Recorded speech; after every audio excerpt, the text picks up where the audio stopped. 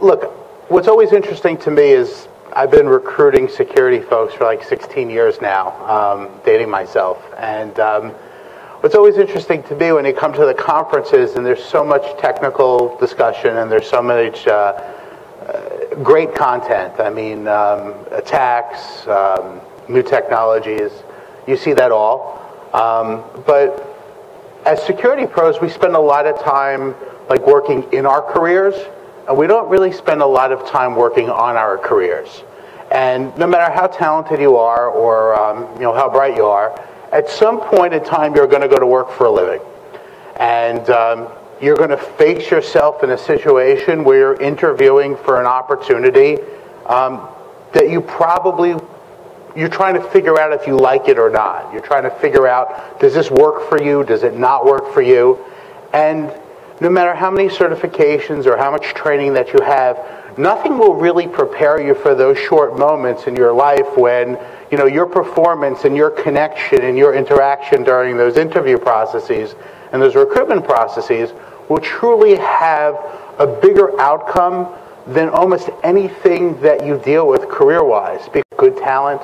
Um, so you know, as professionals, we have uh, the laws of supply and demand on our side.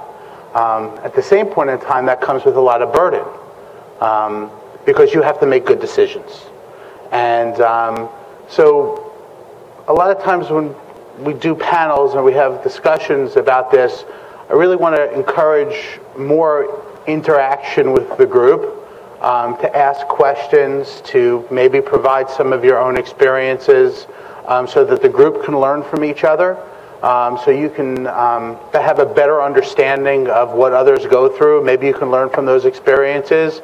Uh, we're very fortunate here to have uh, uh, two panelists from leading technology companies. Um, Linda Greco, um, raise your hand, Linda. she's a recruiter with uh, EMC and the RSA, the security division. And uh, Mark Knowlton, um, who's a senior recruiter um, over at Akamai.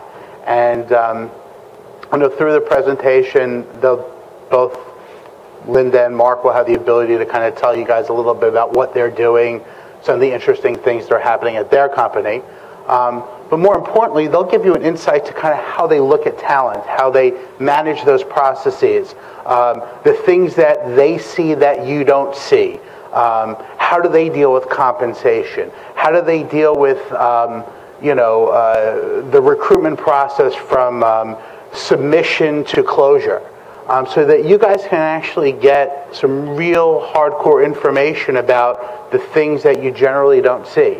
Um, so hopefully if you take something away from this presentation and source, this might be something that you can take away and put in your own back pocket and apply someplace down the road. So um, let me just let Linda and Mark introduce themselves. I think that's probably a good place to start. That's Mark. Thanks a lot, Lee. Is, is this working? Um, no? Okay. Um, How about now? oh, great. Okay, good. Eureka. Um, Thanks very much, Lee. Um, I've been with uh, Akamai just under two years, and um, I've been in the business uh, for 16 years and have seen, um, you know, quite a, you know, quite a few uh, changes um, you know, in the in the marketplace, the talent is much more aware that they are very much in demand, but that can be a double-edged sword. I was when Lee was talking about the whole compensation thing. You know, a lot of times uh, a person's perception of what they're worth in the marketplace isn't a real reflection of what they're actually worth at a particular company. Um, and so I'd love to be able to discuss in greater length what um, some of those challenges you, we might encounter. Um, but in terms of Akamai, we we look for, of course, really smart people, but not necessarily folks whose resumes look like an alphabet soup of acronyms. You know, so we'll discuss at greater length um, more about the kind of people we look for, and not necessarily someone who fits a parochial model. We just look for smart, talented people who think on their feet and like to be around smart people doing things that are really, really meaningful. When we push one third of all the traffic on the web at any given day, the stuff that we do matters to a lot of a lot of people. And so we like to find people who are passionate about doing something that has that big of an impact. and uh, hopefully we'll have a chance to talk later today. Um, uh, we have an open hour after this session, and uh, we're hosting a beer and wine reception later. So I'm more than open to have a more detailed conversation about some of the stuff we're doing. Hi, I'm Linda Greco. Nice to meet all of you. I've been with RSA since July. I've been with EMC for three years, and I've been a recruiter for over 20 years. Um, so that's a little bit about my background. I was a software engineer before I became a recruiter, so I talk techie, but I don't write techie. Um, so that's who I am. RSA, what can we say about RSA? Um, so overall, EMC, 85 countries, over 60,000 employees, making um, IT as a service, right? Storage, manage, protect, as well as analyze data for our clients.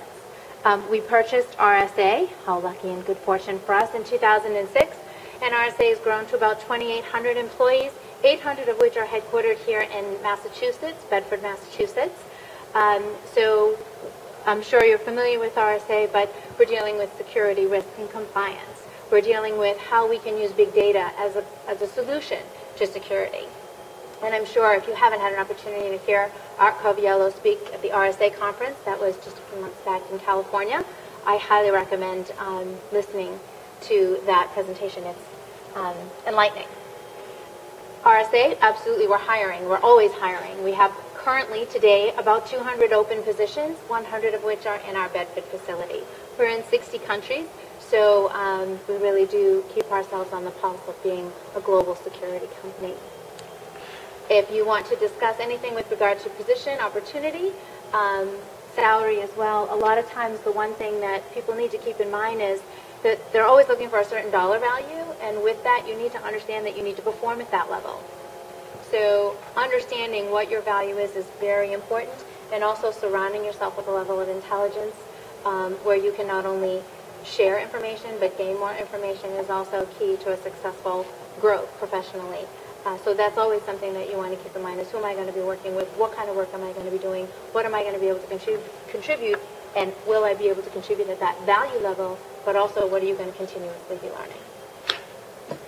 It's pretty comprehensive. We have two very esteemed companies here. And, um, you know, one of the nice things about being a security pro is that you get to pick from every one of them.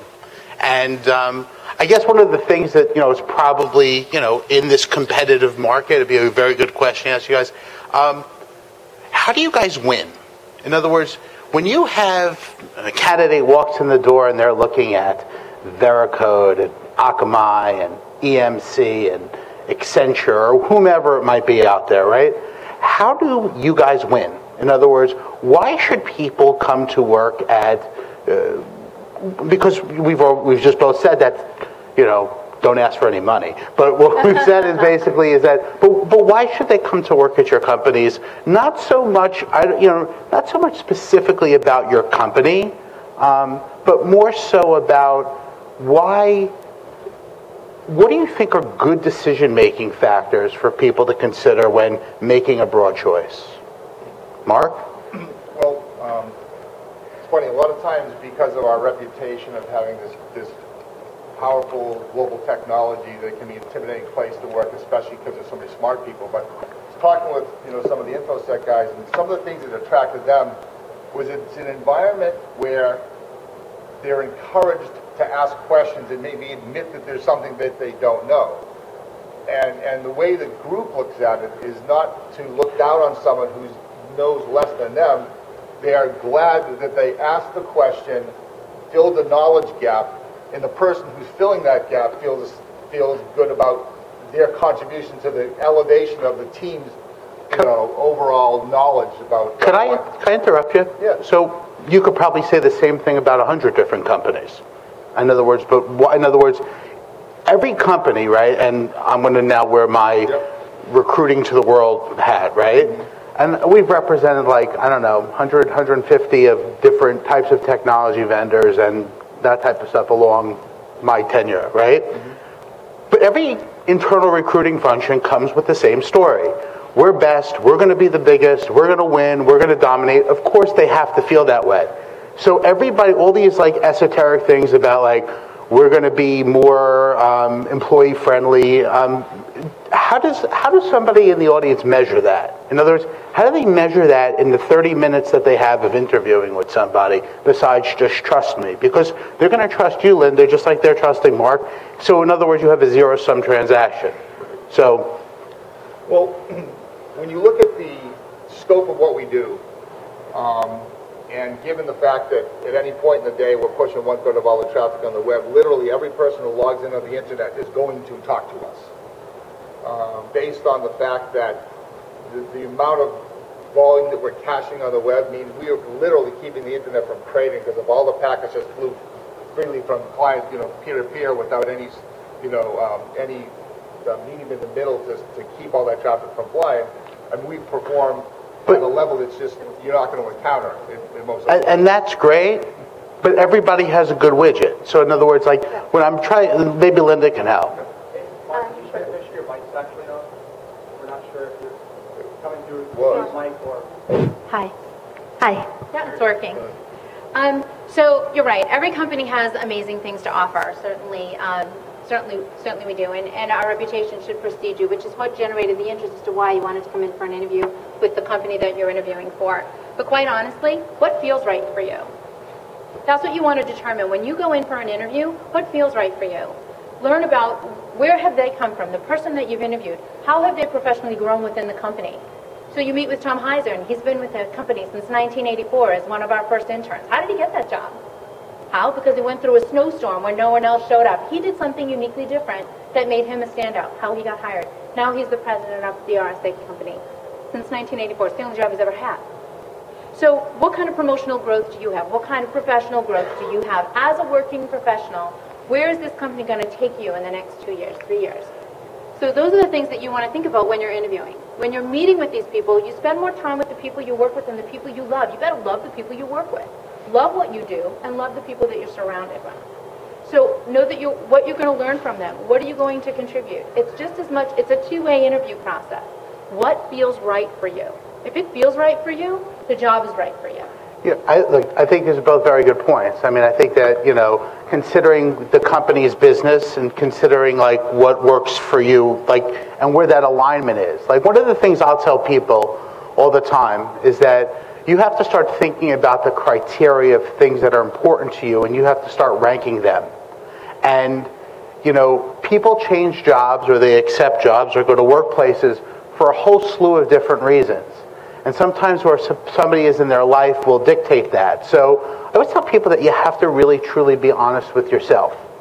Um, and you have to be able to pick environments that you can succeed in and things that align with where you are. Like, um, I always say this is that I was willing to do more things work wise when I was a 20 something and 30 something as opposed to now that I'm in my 40s. Um, just because my life's in a different place. Um, some people will commute more, some people will travel more, some people will work more hours.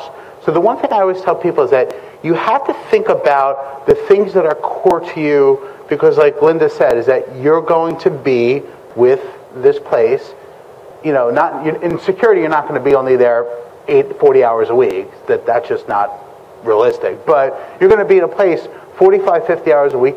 You're going to have to enjoy what that is, and that's going to have to provide you with some sort of work-life balance that works for you, whatever that might be. Um, has anybody here like made a job decision recently, like a change? Tara? Not necessarily changed, but I know Leslie and what Linda was saying, because I interviewed for the position, um, Dave sounded wonderful, and I like lots of growth in the company, and I was on the path train heading back, not feeling really excited about it. And, uh, when the managing director got back to me and said, there's been a delay in the process, I found I was relieved.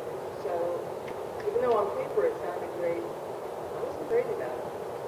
It's hard to define exactly why. Well, let me ask you question. Here's great. So I wasn't even thinking about this. What do you guys think of job descriptions? Right? I mean, so so here's this. Like, what goes into writing a job description?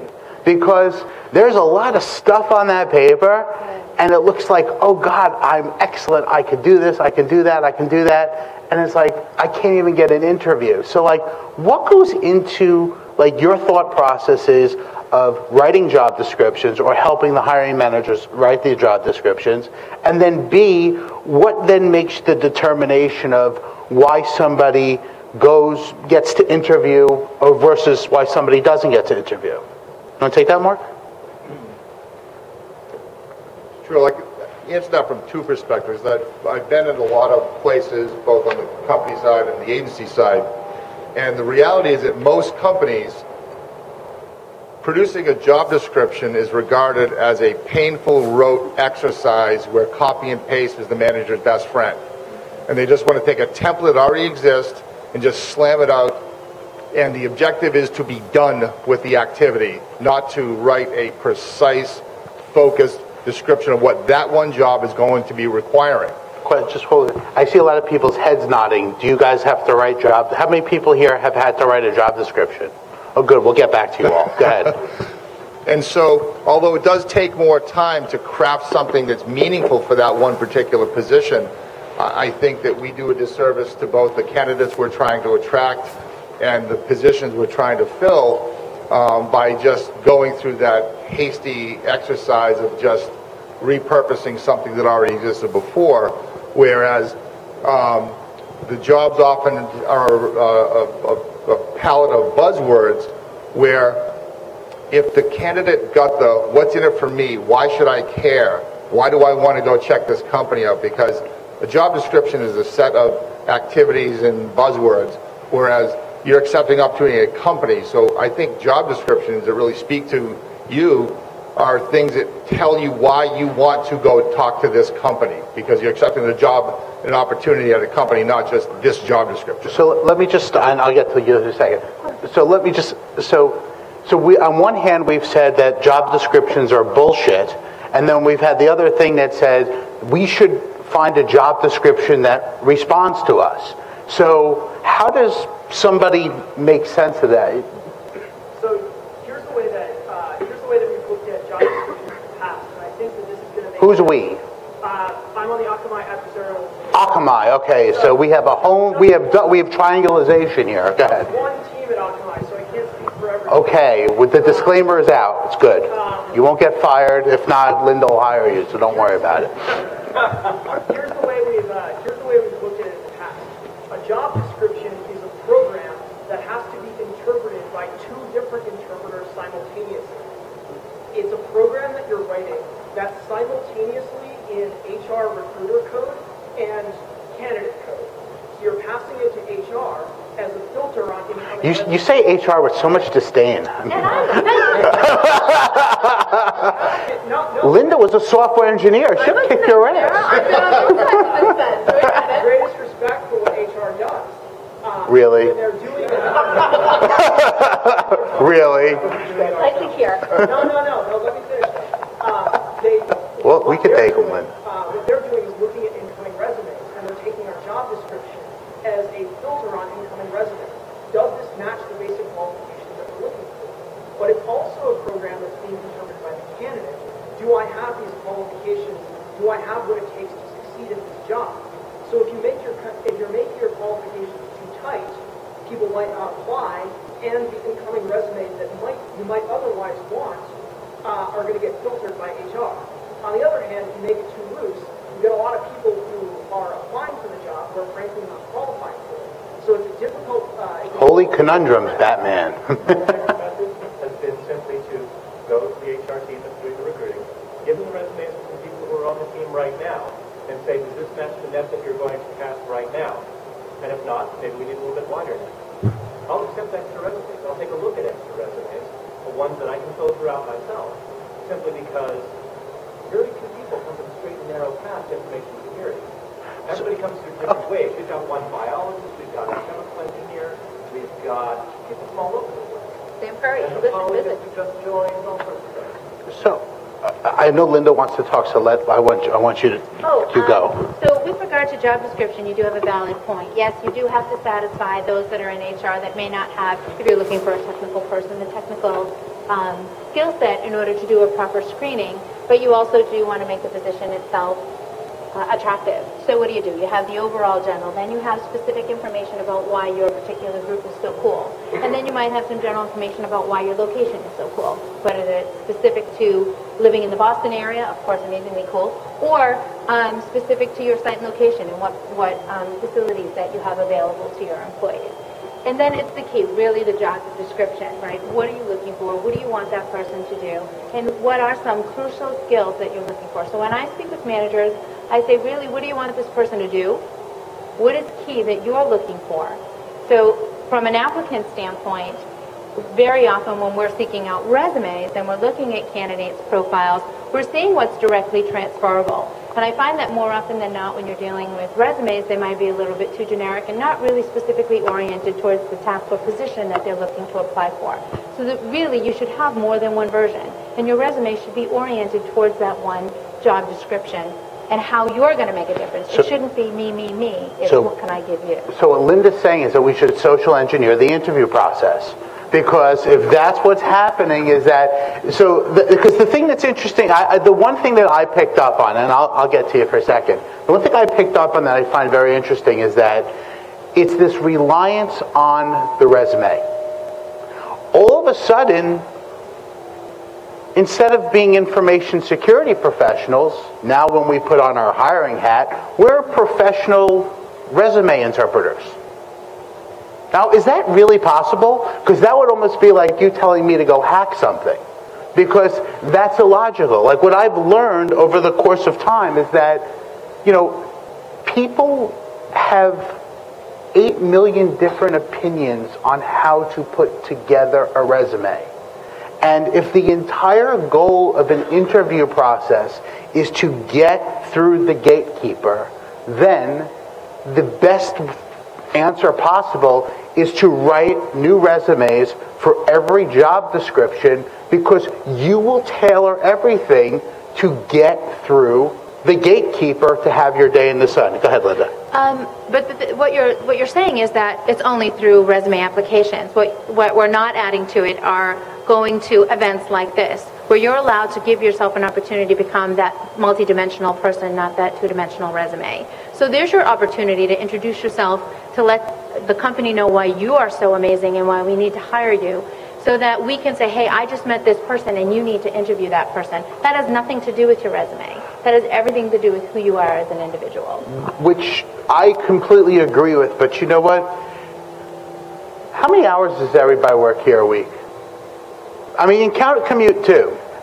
Are we? How many people work more than 40 hours a week? How many people work more than 50 hours a week? How many people work around 60 hours a week or more? So between 50 hours a week, right? Then you want them to come out on their free time to interact with people with the sense of hoping to find interaction. I'm saying capitalize on all of your opportunities. There's social media, there's LinkedIn concepts, there's ways to introduce yourself to individuals that aren't just There are all those drunk photos on that Facebook page. Yeah, Facebook, but LinkedIn I do use on a regular basis. And you would be surprised at how often I receive information from executives, management, um, consulting, all different avenues of our company that says, Linda, I met this person on LinkedIn. Maybe we can utilize this person. Can you take a look? So it's a business tool that you should take advantage of and use, and a lot of times people don't use that. So one avenue of sending a resume, if that's what you're putting your hopes and dreams on, then, then you're limiting yourself. So if you're aggressively out there seeking a new position, then you should use the multiple avenues that are available. So that's a good question for both of you. How do you guys look at LinkedIn versus resumes? Well, in fact, I'm glad you mentioned that because uh, I received an email this morning from a uh, candidate who's graduating uh, from Northeast with his master's, found me and sent me an email, and it just so happens I am looking to fill an entry-level uh, Java developer position, and I got back to him and said, okay, I'll, I'll call you. I'm a little busy this week, but I will call you. Um, I have hired people out of technical user groups that we host. Um, now, again, as Lee mentioned, it does take time. I mean, after you work your 50 hours, you're left with 118 for the rest of do That's pretty. else. That's pretty good math. But, but I, here, here's here, and I'll let you train your th- train of thought. But here, here's the interesting thing. Most of these people don't want the job that they already have. If they're like the lead engineer, they want to be the manager. If they're the manager, they want to be the director. If they're the director, they want to be the vice president. If they're the vice president, they want to be the CSO. The CSO, they want to run the company. So getting using your resume and your LinkedIn to get the job that you already have, I see as a very easy thing. My question to you is that since these people aren't generally actively seeking employment, mm-hmm. there might be actively seeking better employment or better opportunity or more money. How does a person convey that? Not the kid who's just graduating saying, oh shit, I got $100,000 worth of debt, I got to pay this off somehow, but the person that says, look, you know what? I'm kicking ass where I am. The person above me is a little bit better than me. I'll be honest. I'm just maybe got passed over for something. How do I get, you know, how am I as an assistant coach become the head coach of some other company? Well, when we say use LinkedIn, there's many different ways to use LinkedIn. And this kid happened to go directly, you know, to me. But the, the way you do something like that, especially is if, let's say, you're a principal level person, you want to get in your first management, you would find somebody who has a job like who's, who has a job like that, and then get an introduction from somebody who's in your network connected to that individual. That way, you inherit the credibility of the person saying, "Hey, I know this guy hasn't done management before. He's ready to step up. He's worth the conversation." And so you can leverage the social network, but also the influence of others in your network. So you don't have to just go and make a cold contact yourself, which is not a comfortable thing for most people who use, you know, technology to make a living. But that's something I strongly encourage because how many times have you ever gotten an interview for somebody by just handing a resume to someone who trusted your opinion? I say forget resumes. I just say forget them. I mean, I because quite frankly, um, I, mean, yeah, it's the currency, but it's um, you know, you're hearing from folks here who do this for a living that the resume is really kind of like you know, and after the fact, it's like a small component to the puzzle.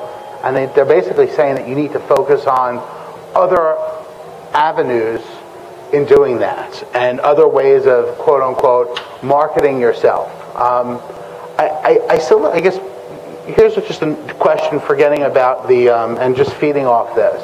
Um, if somebody was to come in as a quote unquote principal engineer and they apply to a manager job and one of your whatever the title is, I don't care about the title, but they're applying for one step up and they've never done that before.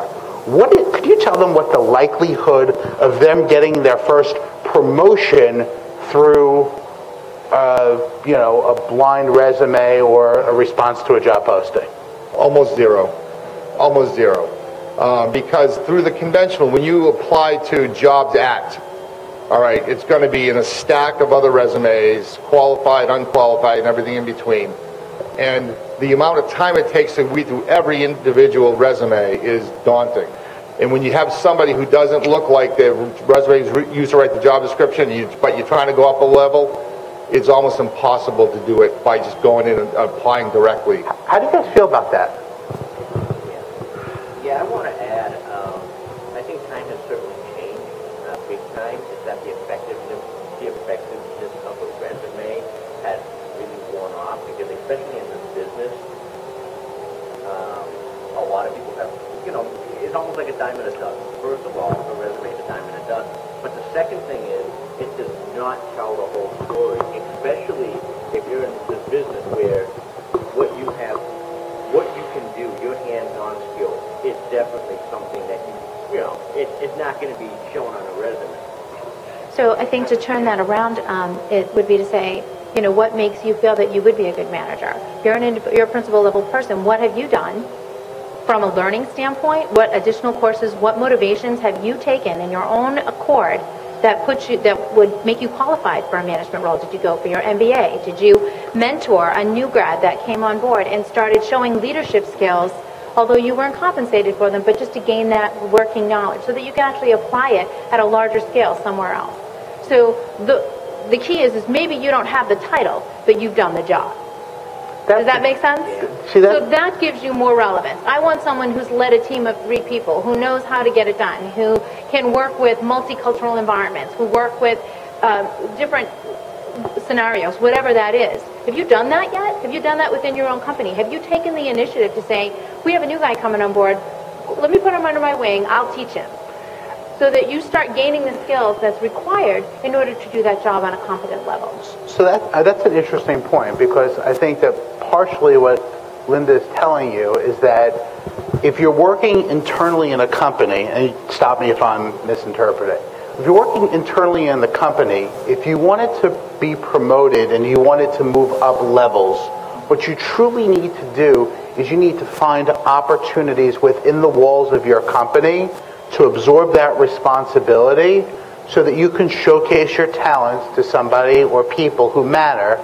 And then when that promotion comes up or that opportunity comes up, instead of saying, let's go outside and post the position, they say, look, you know what?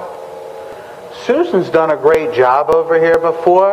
She's really doing the job. I know she's interested in becoming a manager. We should interview her first because she's invested time in our company and got there. Am I good there? Absolutely. Okay. Now, the trick of that is, right? So what is that what that really is saying is that in order to continue to progress your career upward if that's the direction you want to head, you have to look inwardly to your company to be able to build those skills. So when it's time for you to look externally, instead of saying, well, I led this team of three people and I did this and I did that, but you weren't a manager. Did you really manage people or did you just lead them? Because on the outside, if you were coming in, your resume, as Mark said, would get lost if you weren't a manager.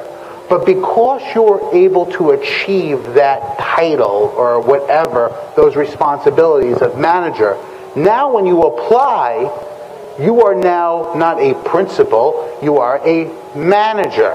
And that person might get some consideration. Is that fair? What, do you guys get? Do you guys see where that comes? Because many people come call my office and they're calling us up about I'm ready for the next step in my career. And the truth is, is that people aren't going to promote people that they don't know. They're not going to, because people aren't going to roll the dice on their own careers by making crappy hiring decisions because it's too, that's how they got to be managers. All right. Rob and then Carol. A of a of um, I'm not in HR, but I a of.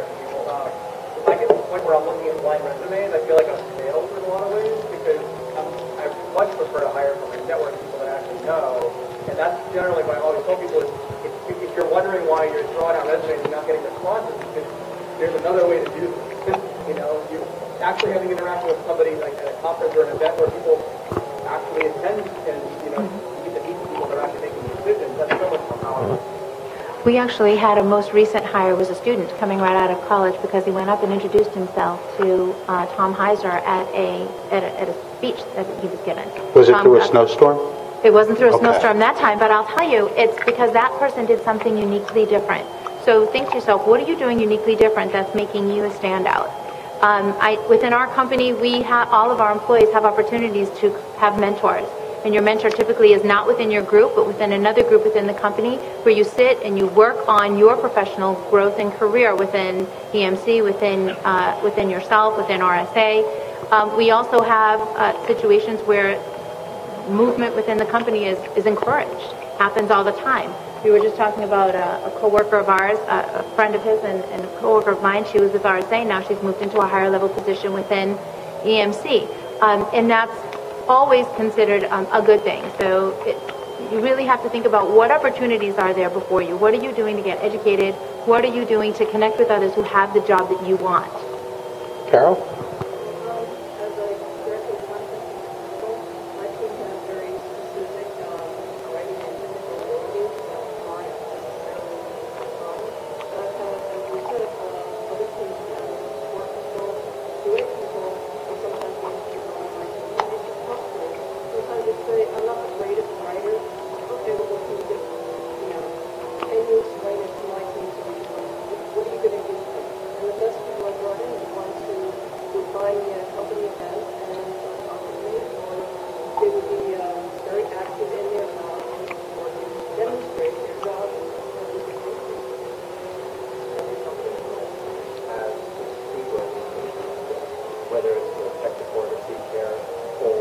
every big company.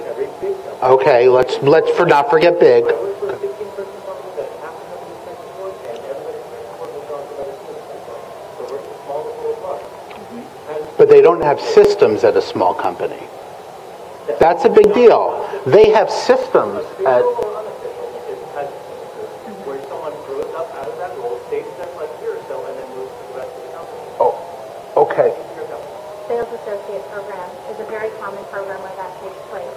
Um, we also have leadership programs um, from, a, from a new grad hiring. We have leadership programs in every area of our business, from HR, marketing, sales, engineering, both engineering for um, data analytics, security, as well as storage. Um, so we have feeder pools that start at the graduate level and they continue to move on. They're in that program for two years, and now you have a two or three-year experienced person who's touched multiple departments, who knows the culture from a more omnipresent view, and are, they're very successful. If we were at a conference where all the attendees were between 20 and 25, then I think that that's a very appropriate statement. But I'm thinking that this room is more of a, you know, anywhere between 5 and 20 years in their careers. So like, all those things are really great. Like, you know, if, um, you know, you know, you have a kid graduating college, but like, chances are, um, you know, when you start dealing at, at these levels, um, when you start people have like actually have a career as a security professional, you're dealing with much different criteria, and you're dealing with, um, you know, m- a whole slew of different variables. Um, you know, one point that was just brought up in this was um, the concept of differentiation. Um, I think Linda brought it up, but you know, in most scenarios, any good job, like in searches that I get called on, like when we do a CISO, they don't just say, "Well, send me one person." They don't do that. You know, they say like, well, "We might start with a field of like say 30." Like we just did the CISO search at Mayo Clinic, right? Pretty big job. We had we started with a field of about 30, and we narrowed it down, and we narrowed it down, and we narrowed it down, and then you know, we find exactly what they want. But that's a big stroke. The thing is this, is that the last, the, the five final candidates for that job were all winners. They just picked the one that was the best winner for them. So one of the things that, you know, maybe I throw it out to the room and then give it back to the panel, but what are the things that you guys think will differentiate yourself? Because there's a, a huge difference between being Miss America and Miss Congeniality um, in the employment game. So, any thoughts on that? Any thoughts on how you differentiate yourselves from your peers? Carol? So this is that isn't working in college part is that they did something on their own time. They got involved with maybe a security organization, a volunteer specialist, and one of my guys was sent to charity. That shows genuine interest and willingness to put their own time into something without necessarily getting compensated. Something I don't like to hear is somebody can and say, how much vacation time is there? How much time What's your policy on Columbus Day? huh? People would do their homework. Any person who comes in and says, by the way, this is the information about your, your site that I found out yesterday when I was doing our research, and by the way, this is what the stock price currently is. It's possible that we're doing that. Really quickly in the house. Like, I have, Personally. yeah, I have, I, we, we had one guy come in with files on all of us on his iPad. and he was opening it up. Uh, That's, a, there- that's someone I learned now. It wasn't, it wasn't in a good way though. He was like, oh yeah, I was thinking today about your family. Yeah. Well, I, uh, Lee, I saw you five years ago, and there's something that I took, there's so many things I took away from your talk five years ago. One other thing is, is that the, the interview is just a confirmation of what the interviewer knows about you already. Uh, I think as we've gotten to a time where we got the Facebook, the LinkedIn, and the Twitter, it's so easy to find information on people. I mean, it's out there. So, if you can do the research on people, I, I, I know that there may be a perception that it's creepy, but it's called normal now, and that is expected. I think that the, inter- the job interview process, the job interview itself, it's just a confirmation of what people already know about each other. I think another piece to that, um, thank you. Another piece to that would be um, your ability to think. So more often than not, I'm seeing that um, managers, especially on the technical end, are looking to see because paper says so much about you, and sometimes people elaborate, um, and some are, are don't say enough.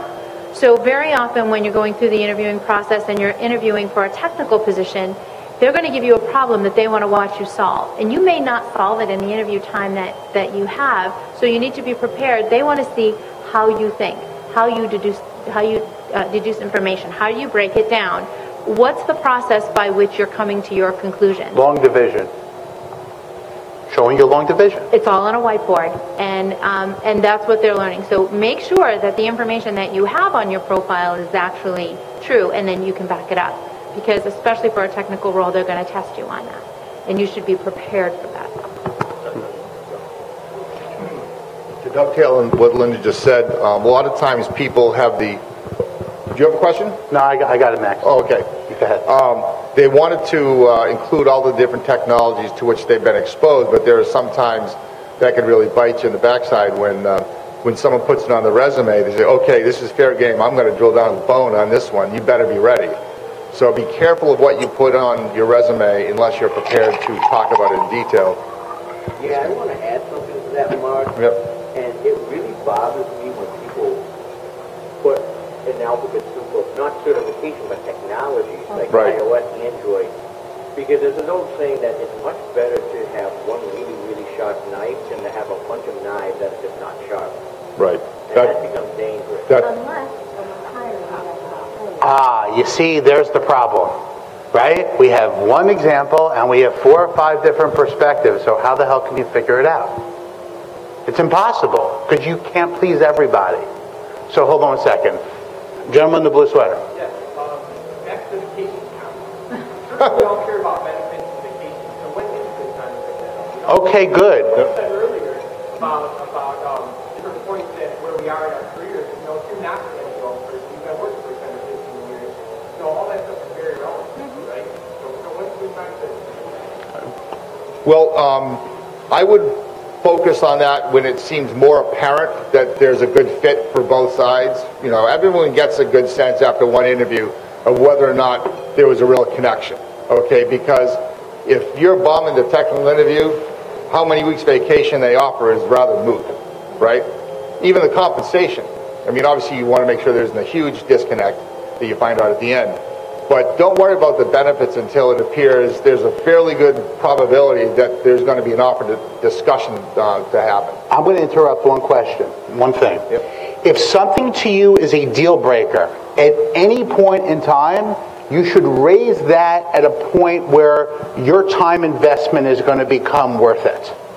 So, like I'll give you an example. This is completely off the cuff. I have a client for an anonymity. It's uh, in New York City. Anyhow, um, we're, they're hiring somebody in a place completely outside of where they're normally operate. Their benefits program um, doesn't provide great coverage for um, this part of the country where they are. It's a boutique type of a place. Um,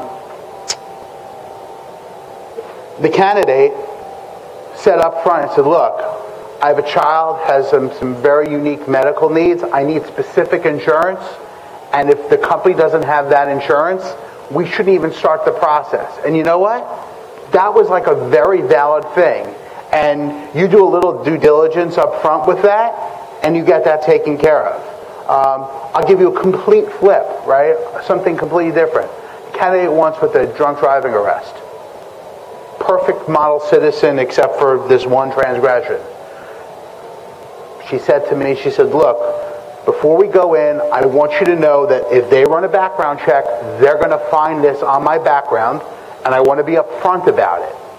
It's a big thing. I'm not proud of it. I'll talk about it, and but I want to let that out there. So by clearing some of those hurdles at somewhat of an early stage, maybe after the first date, maybe after you've had a phone conversation, that's probably a good time. Because a phone conversation is not that big of an investment. People aren't really clearing their calendars too much. But as soon as you're starting to take days off of work and other people are really allocating their time to evaluate you, I think that if something is that important to you, commute, work from home, I mean, whatever you know who you are as a person, as long as you're willing to accept that as a deal breaker and know that the employer can stop the process based upon what you've articulated, you know, that's good. The worst thing is to spring that on them at the end of the process. That's the worst. At some point, you should, excuse me, at some point you should be speaking to an HR rep. So my, my response to that would also be know your audience. So that question with regard to benefits, all benefits, and you can ask that question of where can I, or if you haven't done it already, you might be able to find their benefits information online without even having to ask that question. So that would be your first point of research that I would recommend that you do. But once it comes to the point where it looks like this is going to be a longer term relationship, not a quick date, um, that's when you want to make sure that you say, you know, when you speak to human resources, know who you're speaking with, know who you're interviewing with, and say, can you give me information regarding your general, your overall benefits package? She will give you that, or he will give you that information in a general scope, where you can then say, oh, that's interesting. Um, is this something that's a part of the negotiation? Let's say there's three weeks, you're looking for four weeks, you already currently have whatever. So the time for that is with your human resources rep versus your manager who's dealing, who's interviewing you for a different set of skills. And you can ask open-ended general questions that might include the answer that you're looking for. It, it's, it's generally easy to get something that you already have if it's not that far of a departure. Like if you have three weeks, they offer two, you can generally get three. If you have five weeks, they offer two, you might get three, you're never getting five.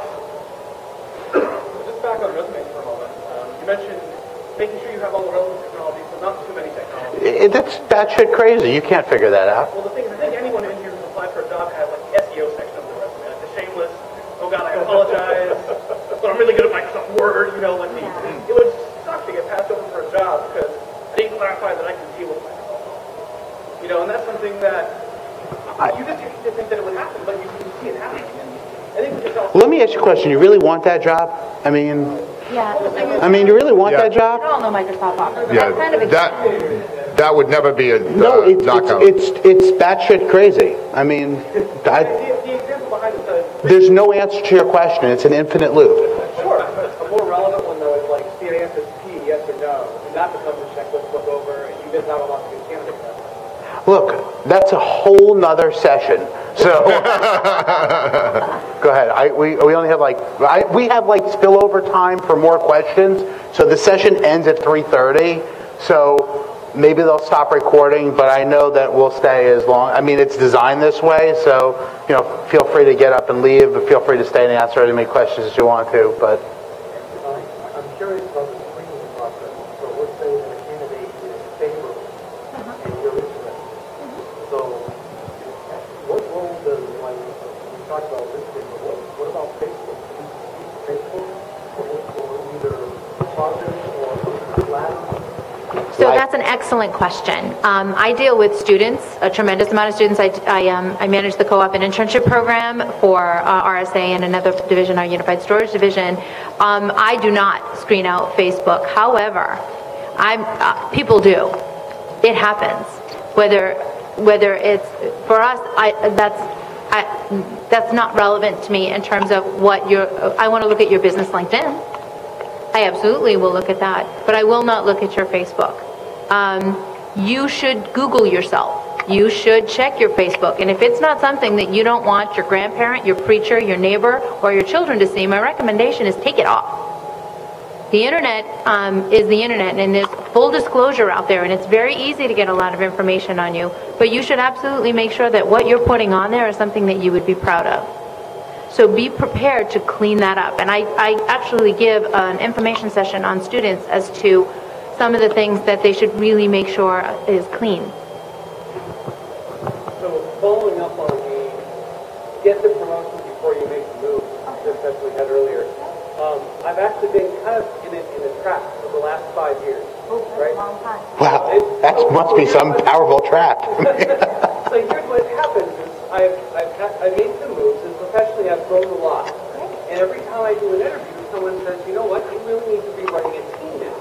Less of the direct technical skills, more of the team management. Well, that's great, except that every time I make a move, I watch and I wait. and It's just not happening. So here's two keywords that you said. I watch and I wait. Why? Why are you not doing and asking? So my recommendation to you would be the first thing is go to your manager and say, this is something that I want to build on on my personal skills or is my professional goal.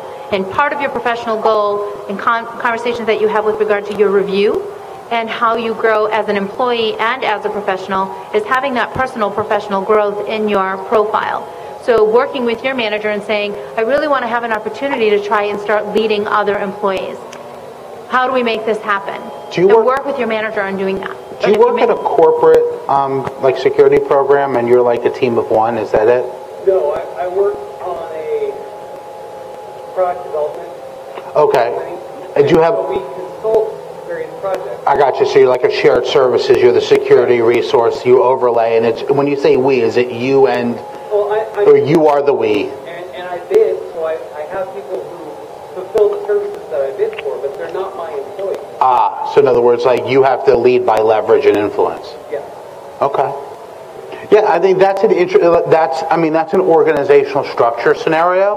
Like one of the things I would make the suggestion is that maybe you can ask, you know, maybe what you can do is to try to figure out a way to maybe get into the business of in other words instead of being the deliverer being the purchaser. Does that make sense? Where in other words, instead of being it might be a different role. It might be a non, it might be where security becomes a portion of the role, but then the leadership and the management of the group, like you might have to kind of move laterally within that organization to do that because you just don't have structurally in your organization, it's not set up for you to have direct reports and you need an organizational seismic shift to actually have that opportunity even become made available. Does, does that make sense? It, it does. I worry a little bit because if I do that, then I have a lot less leverage to draw from and tell. Oh, I'm not saying it's good. I'm just saying is that if that's what you want to do, you know, if you ask like how you would go and solve that problem. See, the thing is this, if you go and try that and it doesn't work, your skills aren't going to miraculously leave your body. In other words, your skills have value beyond the walls of your current company. It's like it's like a base. I, I like to use baseball analogies. It's like a baseball player who's playing in AAA. They're not just trying out for the Red Sox. They're trying out for all 30 Major League Baseball teams because they can. They're they're an asset and they can be traded. So you you know you have market value beyond the walls of your company. You know the market is not just your company. Your company becomes the market that is your market today, but the market for somebody's skills is the entire competitive matrix. So if you're not getting it where you are, you know, there are certain ways that you can do to communicate to your boss about things that are important to you because I'm sure they value you as a resource if they kept you in this prison for five years. So they're not just letting you go, right? So think about it in some of their terms.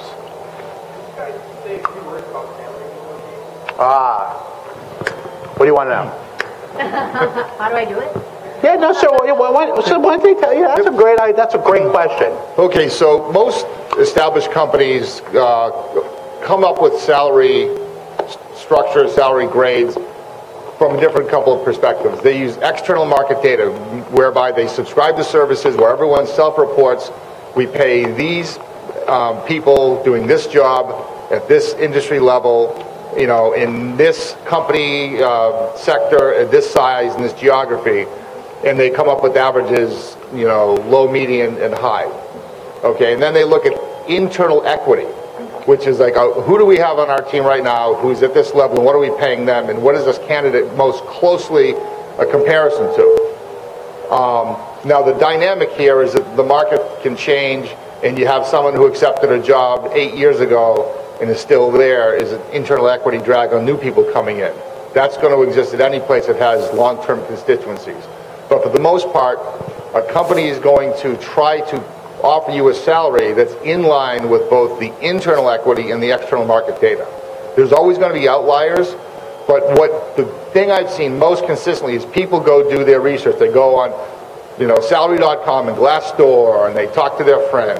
Yeah, that's all the salary door and the gla- glass. I mean, that's you have to really take that stuff. Like all those web-based salary stuff is completely, in my mind, is not applicable to any one individual. Um, I, you know, uh, organizations. Um, I like like a big organization like EMC or Akamai. They pay a lot of money to third-party firms that assess market data, just like a Gartner would do a Magic Quadrant, where they start designing compensation ranges. Stop me if I'm wrong. That there becomes like a, a low point, a high point, and a midpoint.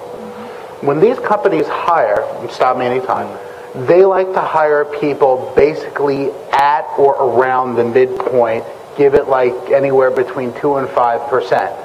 So Exactly right. some of the things that they will do, now, you know, there's certain things that will factor that. Obviously, their internal equity and the people that they currently have. That's how they get those numbers.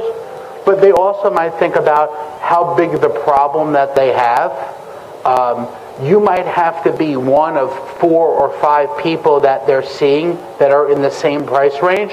So their market data might lag, but they'd have to get more of the general consensus of like what is the true market for this particular skill that I've outlined in my job description that all my people like. And then what happens is this, is that you might get a group of candidates that might be three or four for a very hard to find position. And then what they'll do, another baseball example, is that they're going to moneyball it.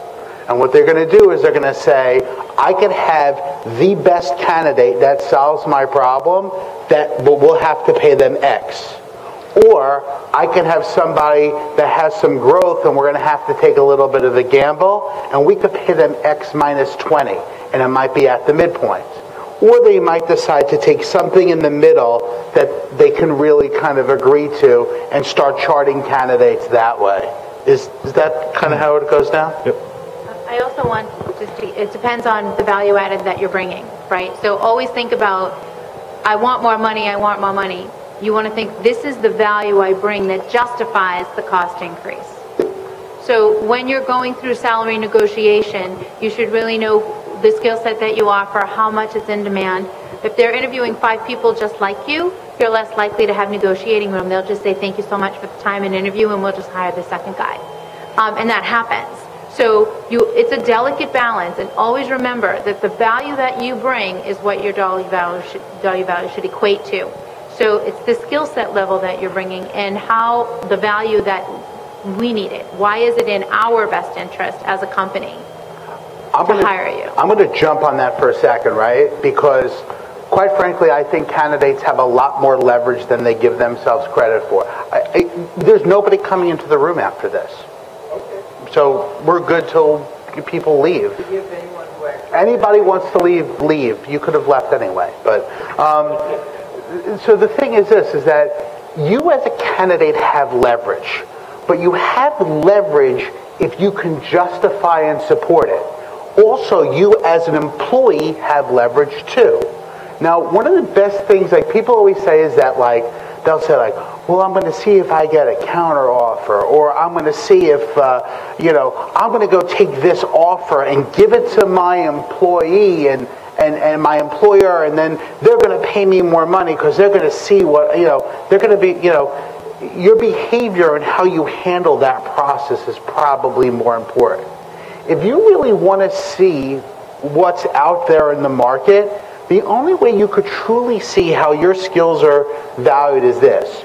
You either have a peer group of people who are kind of like in your position at like companies in the same geography that you can speak openly with about compensation. The other thing that you can do is you can actually go out there and interview for things that, not for the next job, but interview for your current job. Interview for the job that you have just at different companies. So if you're at, uh, um, I'll use New York because it's easy for me, but if you're at Goldman Sachs, go out and interview at uh, Morgan Stanley, interview at a couple hedge funds, interview at Citigroup. Go out and you'll get the market segment of what your skill works for in those environments. At that point in time, you could say, look, you know, you have your next salary review with your boss and say, look, I just want you to know is I'm not looking, but I got offered, I got, I've been called from recruiters left and right for these types of roles. They're the exact role that I'm doing. This is what these jobs are paying out in the market. I like working here. I'm not telling you I'm going to go, but I'm just letting you know I'm doing your market intelligence for you. And I'd like for you guys to consider this when you have my next, my next raise. So it's an indirectly telling them, hey, look, I'm not holding a gun to your head, but I'm willing to. So it's basically creating that open relationship with your man because you're because in a perfect world you don't want to leave and in a perfect world your manager doesn't want to lose you. So most people look at that and say, "Wow, what is my manager going to think if I do this? They're not going to like me, they're going to hate me." No. They're going to respect you. They're going to respect you because you're doing it professionally. You're not putting them in a bad situation where you back them into a corner. Because if you back them into the corner, they're going to tell you to leave. I don't care how valuable you are, Yeah. but they're going to find that other person who's pushing for your opportunity and say, look, you know what? We have four other people who want to do your job. You want to go work at Citigroup? Go right to hell and do it. That's what they're going to do. So The other piece to that is be very leery of a situation where they're going to pay you way beyond what your value is. That's good So what point. is the company's situation that they're willing to go so high for your skill set? Are they having attrition problems? Are they having, are they losing customers? Really know the company that you're interviewing for. And if you see that you're receiving an offer that's way beyond the scope of what may seem too good to be true, it just might be too good to be true. Make sure you understand the culture and the environment and uh, that it's the right place for you to go beyond just the, the money. That's just something that you should always keep in mind. If you're in it just for the money, then sales is definitely where you should Well, be. if- but if you're in it, well, if you're in it just for the money, go work as a 1099. yeah, be a consultant. I mean, be a consultant. Those guys, they have no career path. They have to invest in themselves, and there's nothing wrong with it.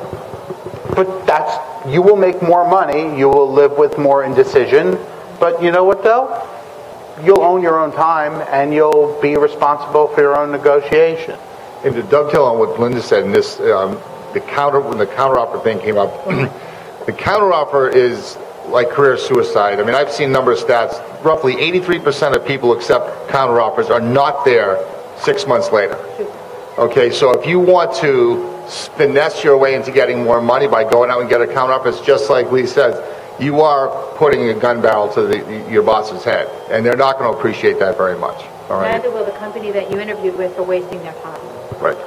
Carol? So, Yes, I just wanted to take into account that you get big salaries, and you also have to consider the value of growth, where you might take a lateral move over, or even maybe slightly less, but if there's more opportunity for you to grow and be in your position, that's got value. Absolutely it does. No, well, look, so I'm going to take a little bit of a different path and just offer a contrarian opinion on the concept of counteroffer, right? I don't like it either in my business, and um, I, there's probably nothing that I, I guess probably would bother me more because you kind of feel that you're not getting a full story when you're interacting with somebody. But I never fault somebody for considering taking counteroffers because I don't know their current work environment and they know their current work environment. And they have that relationship with their boss. Um, and at the end of the day, changing jobs is not a, um, it's an emotional decision as well. Um, I don't think that you can have like a long, like a really good long-term trajectory in, in, in success in a current company if you're always looking for counter opportunities. But, um, you know, I think that the problem happens is that as people start to look, they don't give their employee left the job for a manager. You basically set up the smoke signals and the flags and that. Now, if you walked in their office one day and said, look, you know what, I got this opportunity. I'm going to be in the final stages of an interview for a manager role. And they say, hey, you know, I don't know your name, but hey, Hiram. Hey, Hiram, um, you know, look, um,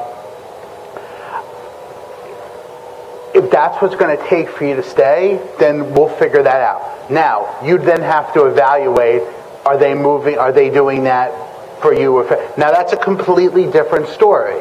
But that's really up for you to assess.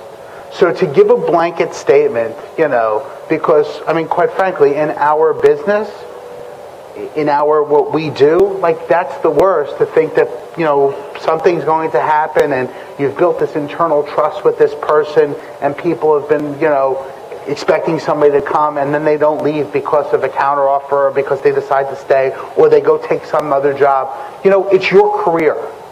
You make the decisions, you reap the benefits, you suffer the consequences.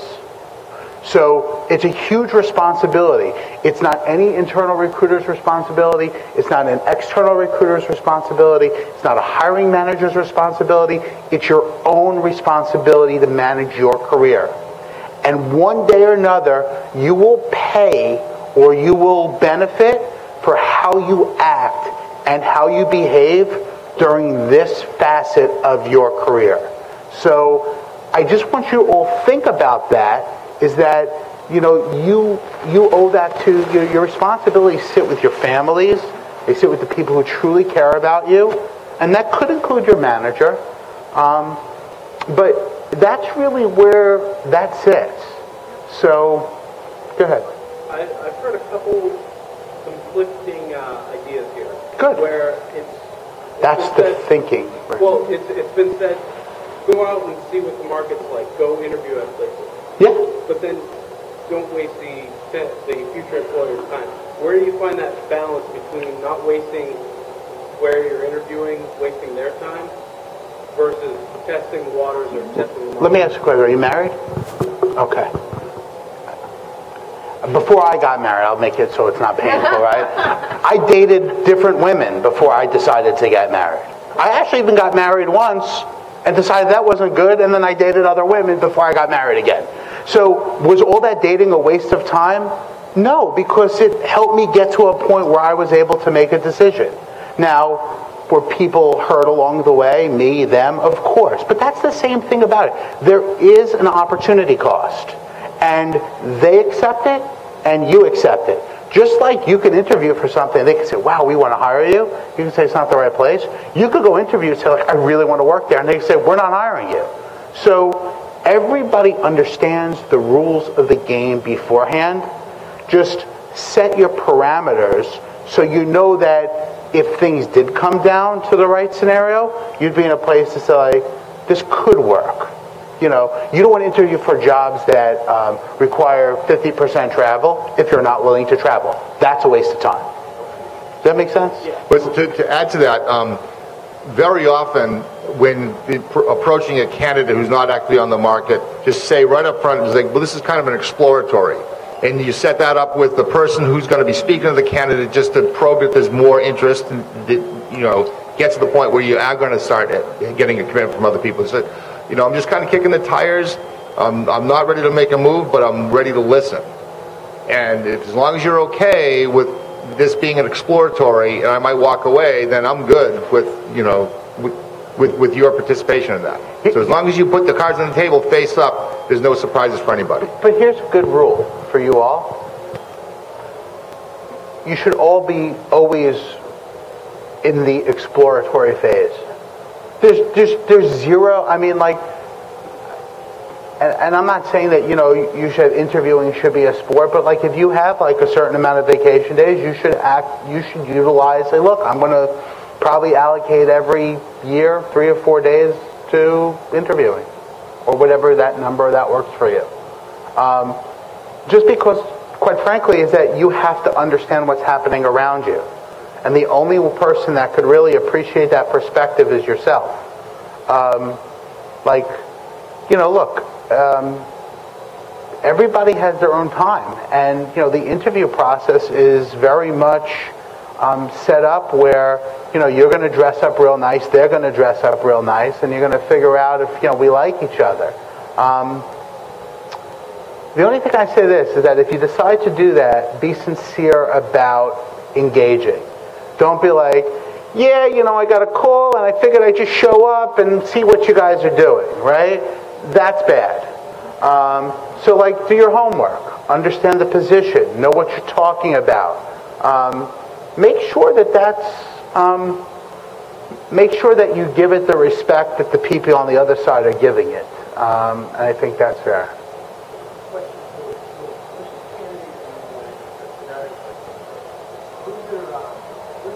Do do scenario.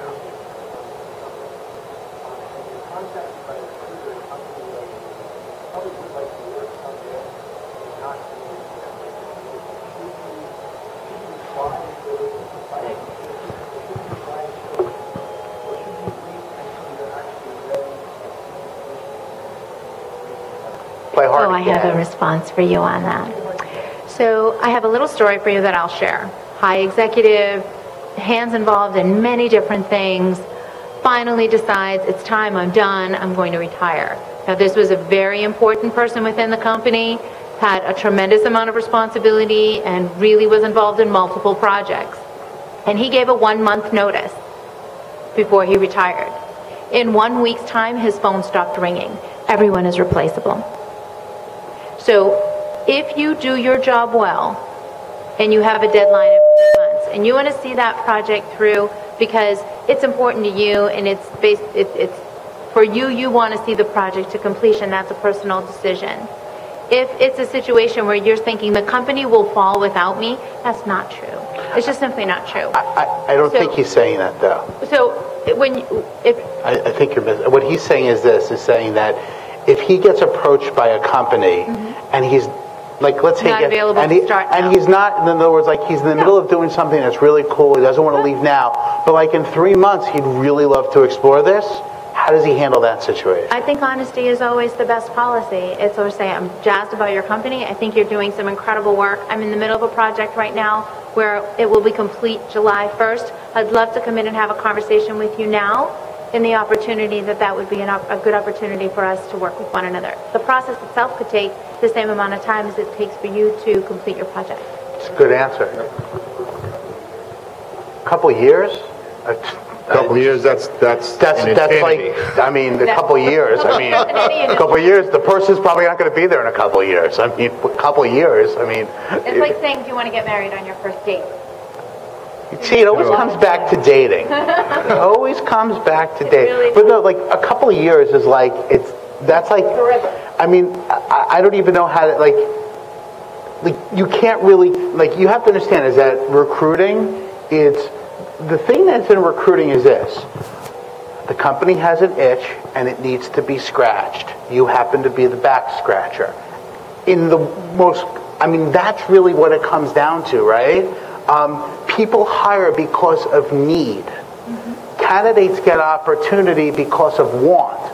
Successful recruiting is really the interaction of need and want. The candidate gets something that they want, the employer gets something that they need, and we agree to some sort of compensation for it, and that works. Um, we have five minutes left. I want to hit the compensation thing one more time, right?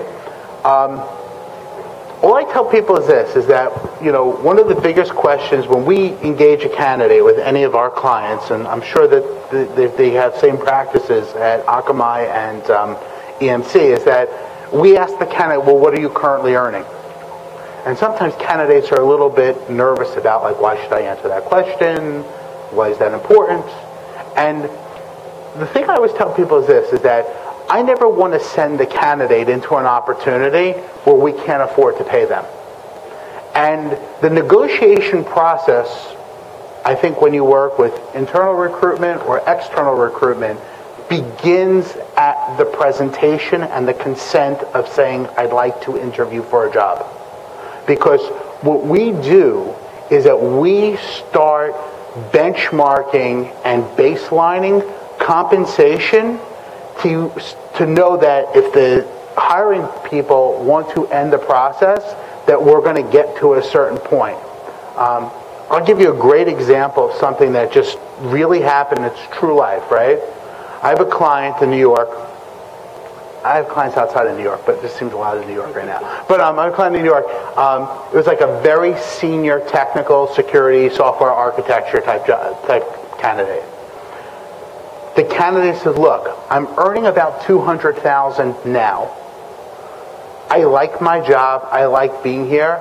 It would only be meaningful for me to take this job at $300,000 total comp. I said, okay, fine. We said we send the candidate in. This is the ground rule. The candidate goes through the interview process. He does well. Not great, but well. Best candidate that they've seen thus far. At the end of the process, they say to us, they're like, you know what? We can afford to pay the 300, but based upon the other people that were interviewed that we have in our company, we'd hire them no brainer at 260, 270, just not at 3. Do you think the candidate would be interested? And then I said to the client, I said, the answer to that question is no. I'll ask the candidate once because out of courtesy, because you've all invested the time, but you guys understood the price point for the candidate. They made it very clear. You made your assessment, and now it's over. So you can either hire them at three or not hire them at 270.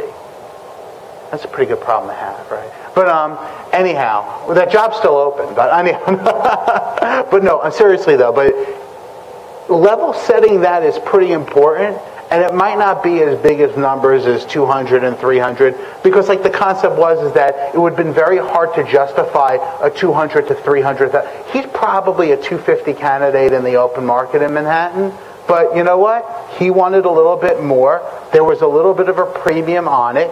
He said look for me to leave what i need to do this is the cost of me changing jobs. And you know he had leverage. And if you have leverage the better skills that you have you you know you're you're, you're like anybody watch football like uh, you're like Terrell Owens like as long as he's catching touchdown passes and so, people put up with all that bullshit. But as soon as he just becomes an aggravation then they don't want to pay him they don't want to deal with all that stuff. So that's kind of how you have to look at yourself in some of these processes is like you know are you are you are you writing checks that your body can cash? Bottom line number that you would be willing to look at anything at less than X. Does that make sense? So do your homework, get a feel for what you feel your value added is, and know what your bottom line no number is. Also know what your ultimate yes number is. Um, and have that range in between. And that range in between could be opportunity to work from home or an extra week benefit or whatever. But have a range in mind so that, that you're going in with your homework done. I, there's like a general rule that I tell people when you're like early in your career, you should always be taking jobs for opportunity, exposure, and things like that. As you get into your career, you know, um, things that are more um, concrete, um, quality of life, money, titles, blah, blah, blah, personal satisfaction, those things should kind of weigh a lot more. But when you're younger, um, I've seen people you know, the right place job early on in the career can accelerate somebody's growth five or ten years in a career. I've seen that through doing this through the course of time. I've seen it, you know, happen.